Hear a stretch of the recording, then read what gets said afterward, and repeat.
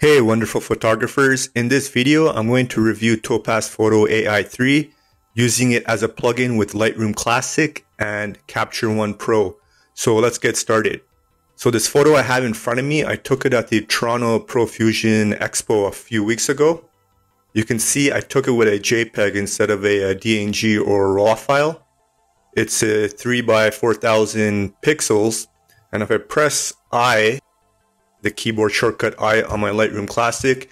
You can see I took it with the iPhone 12, as well as some of the meta information or the EXIF information of my camera settings.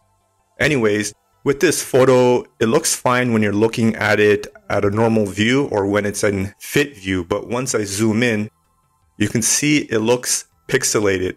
So what I'm going to first do is let's try to turn this into a portrait. So I'm going to turn it or I'm going to crop it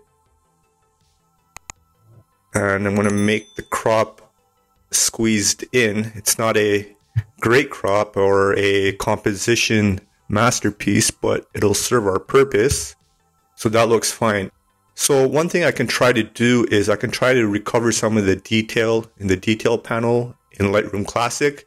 So I can increase the sharpening, mess around with the radius of the pixels, as well as try to add some detail. But as you can see, as I'm adjusting these detail settings or the sharpening, it still looks a little bit pixelated while I'm zoomed in.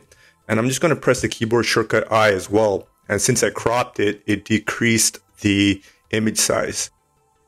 So one other thing I can do is I can add some masking to the image. Right now I'm pressing Option or Alt option on my Mac while I'm scrolling this masking key or this masking slider to show the masking or show where the sharpening is applied. And even then, it still looks pixelated. So what I'll do is I'll just reset the sharpening here and I'll take this photo into Photo AI 3 by right clicking with my mouse and then going to edit in and selecting Topaz Photo AI. The color space, I'll just keep it at sRGB or change it to that. And I'll edit a copy with Lightroom adjustments. And then I'll click edit. So now you can see Photo AI, it already applied some automatic adjustments. So this is the before image, which looks pixelated, and this is the after image, and it looks a lot better, or it's a lot more, or it's improved, I should say and it automatically applied some correction to this image. It applied recover faces. It took a low quality photo and recovered the faces. And it also upscaled it by four times to about three by 3000 pixels. So these settings were automatically applied because I have Topaz Photo AI on autopilot. If I go to the settings or the preferences and go to autopilot, I can turn off autopilot if I want to, but I'll just cancel out of it. So you can see the image looks pretty good now. One thing I can do now is improve the image. So you can see Photo AI is recommending some more settings to apply, or I can add my own setting or my own enhancement right here.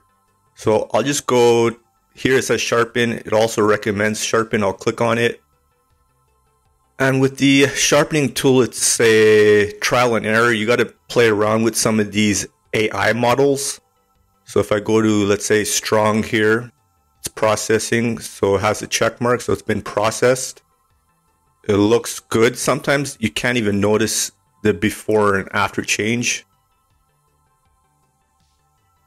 So it is a slight improvement while I click on this eye tool right here to hide the sharpening effect. I'll just turn it back on. I'll increase the strength.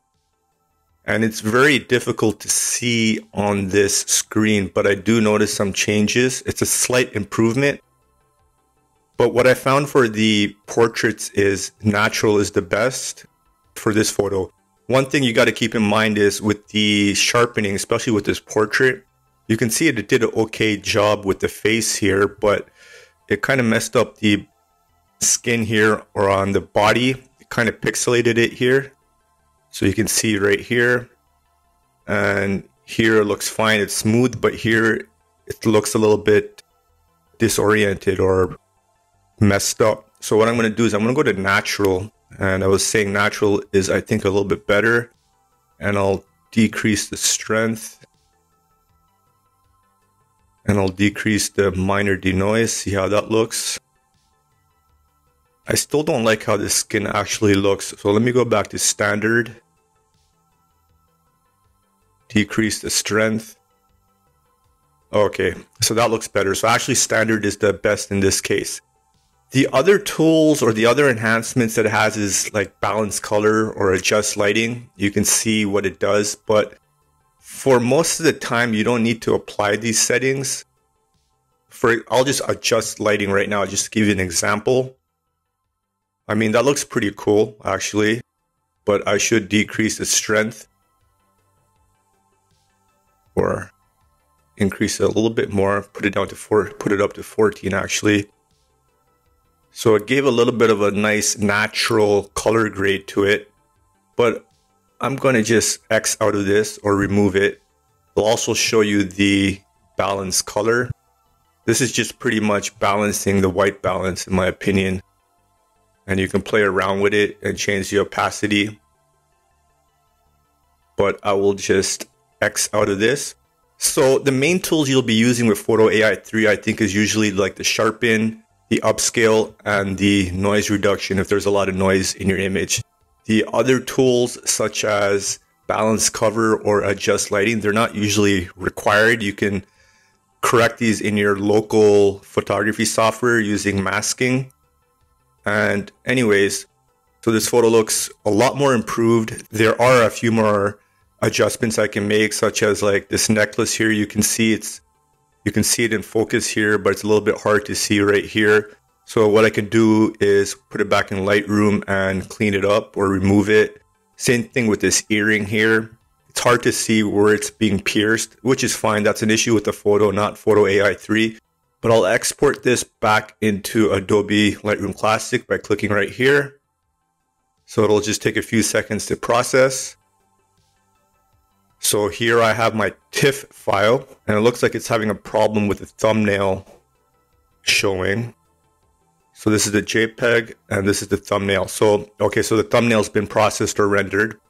But anyways, I'm to just make some minor adjustments to this photo. So I'm to go to the heal tool, click on the brush. Sorry, that's the masking tool. The heal tool's right here click on the brush. I don't need generative AI and I can just make a few adjustments to this, even if I don't really need to.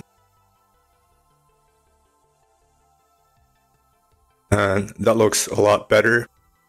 And what I can do is I can add some basic adjustments or some basic lighting. So I'll mess with the lighting here by putting some contrast putting some clarity, just make the image look a little bit better. I don't need more saturation or anything like that.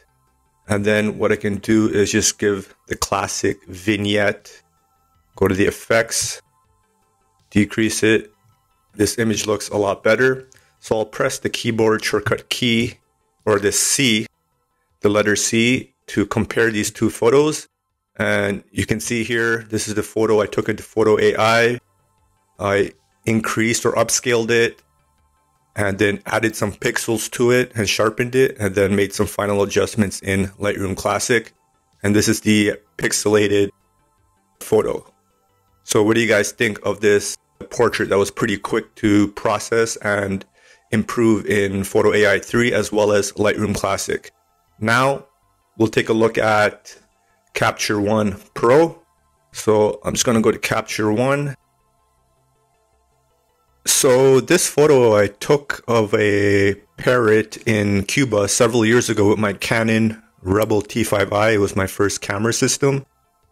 And you can see I messed up with the uh, camera settings. If you look right here, it's at 6400 ISO, 1 100th of a second shutter speed, and aperture at 5.6.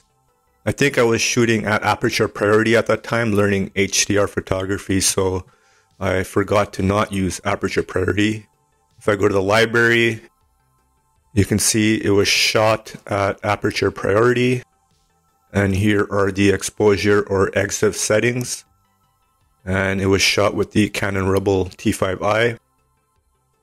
And it shows the software as Adobe Photoshop Lightroom because this is a DNG file. So that's a file, that's an Adobe file, but I converted it to DNG for my Canon CR2 file. So anyways, going back to this, you can see a lot of the noise in the image here, mainly in the background, but some in the foreground. I can try to remove the noise here in Capture One Pro. You can see it automatically applies some noise reduction. If I decrease it to zero, that's how it looks. And if I increase it to 100, that's how it looks. So it's not much of an improvement or it's negligible. So I'll just reset this. And what I'll do is I'll take it into Topaz Photo AI3. Click there. And I'll keep it on sRGB and the rest look fine. So I'll click on edit variants or edit a copy. And now it's going to open up in Topaz Photo AI3.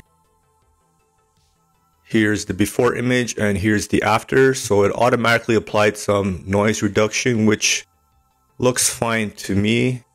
I'll just keep it at these settings here. I'll zoom out of this image and see how it looks in the background. So the noise reduction is pretty amazing in Topaz Photo AI 3. And let's zoom in actually. Let's see if I need any sharpening. So I'll go to sharpen. It might be a little bit hard to sharpen this image because a lot of it, of the parrot is out of focus. So let's do lens blur actually, lens blur version 2. Let's see how it looks. So it brought a little bit detail of some of the feather that's in the foreground, but not all of it. So what I think I'll do is just to make this photo look a little bit more consistent. You can see it's sharp here, but out of focus here. That's just the bokeh effect.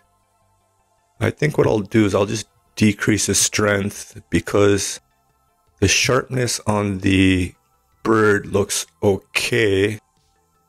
Actually, it could be a little bit sharper. Let me see what happens if I go to a strength of 87.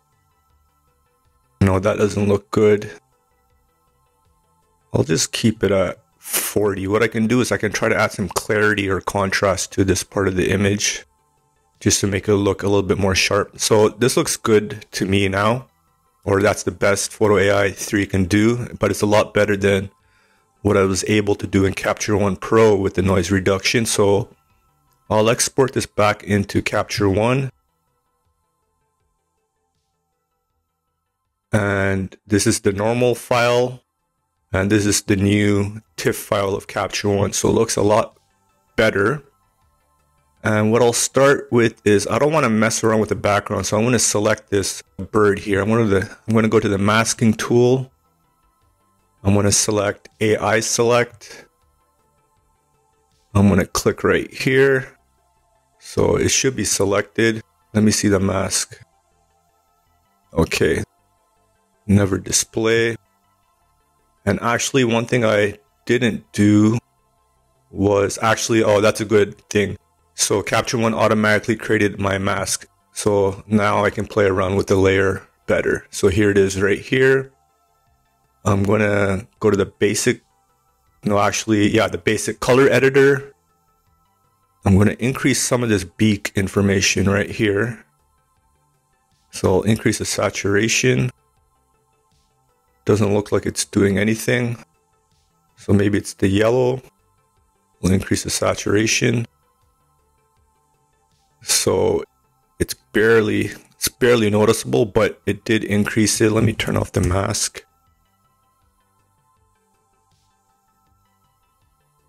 Okay. Oh, why is this mask showing? Never display. Display selection points. Actually, I need to click on this, this select tool. That looks better. Okay, so I increase the saturation a little bit of the beak. Now I'll go back to the red, increase the saturation right there, and a little bit of the green. And let me go back to the orange, see if that made a difference. Yeah, it did make a difference, the orange. Now, one thing I need to correct is the exposure, which I should have done at the beginning, but I will go and make sure I have this, have the right mask selected. So I have the regular image layer. And now I'm going to go to the highlights tool and the white tool to correct the highlights here, as well as the blacks and the and the shadows. So let me first decrease the blacks, move that histogram to the left, move the shadow to the left. Yeah, so it can't recover all the color scale or the the entire range, unfortunately. I would have to do some advanced layer and masking, but that's fine. And let me take a look at the whites. Let me increase it or decrease it actually, and then decrease the highlights.